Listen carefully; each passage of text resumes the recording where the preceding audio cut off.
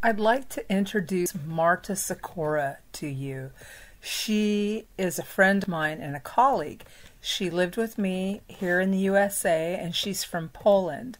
And she came to train with me from K38 Poland to learn how to be a rescue watercraft coxswain, a rescuer using a jet ski. She worked with me at the IJSBA World Finals, several races, and a lot of venues, and she's just a beautiful woman. Anyway, the story goes when she was living with me, I got a phone call from Tom Jones, who is an extreme endurance athlete, and he needed to do water safety coverage for one of his upcoming events.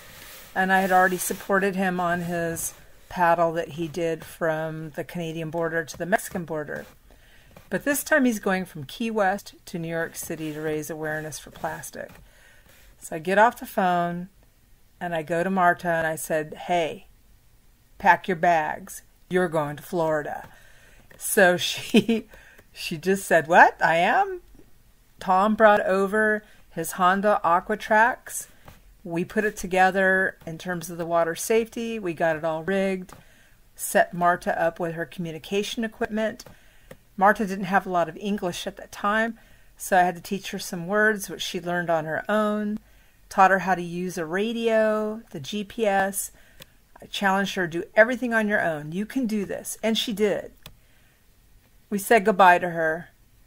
She drives across the country with the team, and they go to Key West, Florida. And from there, they go all along the eastern seaboard all the way up to New York City. Now, I've done this run two times. It's really hard. It's the salt in your face, it's the time on the water, it's the reflection of the sun.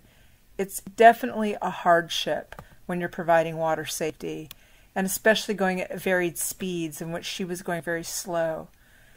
She managed the safety, she kept records, she maintained the rescue watercraft.